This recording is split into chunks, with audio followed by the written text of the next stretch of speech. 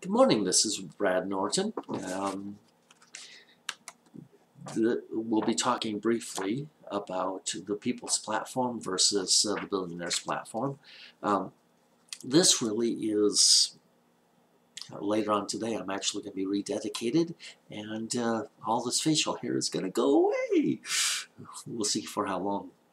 Uh, couple of things. My dream is is uh, for Win versus Why to actually mentor. Uh, um, it is my platform for ministry disguised as a for-profit business, and I want to actually help uh, Christ-centered entrepreneurs to do the same with their own passion and know, purpose and burden. Uh, which is the roadmap to one's uh, purpose. Actually uh, working with uh, Walt Smith, uh, and uh, we're, we're, actually going to be opening up a, a church in Kaufman, uh, and I'll be working towards that, setting up a job corps for young, young, individuals that really need love and you know, helping hand mentoring.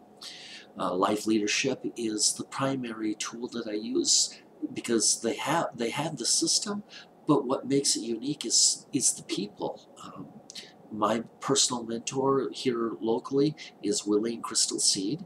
I, I would work with uh, uh, Willie um, a lot, almost exclusively. Um, and he mentors with uh, Dean Fry.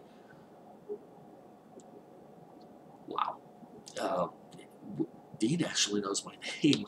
And he'll he'll actually be uh, here uh, uh, in January, and that and he mentors actually with Orrin and Laurie Woodward, you know, who are the founders and creators working with uh, Chris Brady, who actually just came out with a book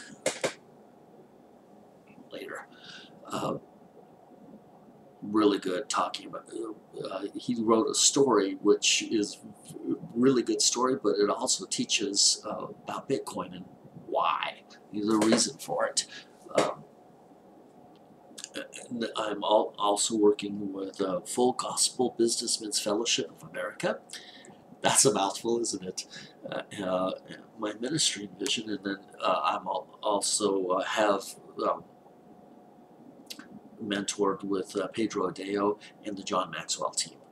Now, uh, the below this page, there there is a, a donor box. That really, I, am actually going to make that go away at the beginning of the year, uh, but that is for anybody that uh, feels a calling to really help my ministry get off the ground.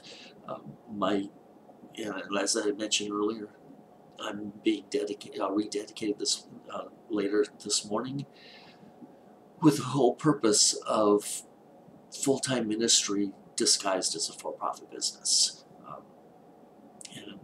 I'm hoping to actually help a lot of individuals and get to know you. So, um, and I'll go into that with, with the daily videos later on. Anyway, this is Brad signing off.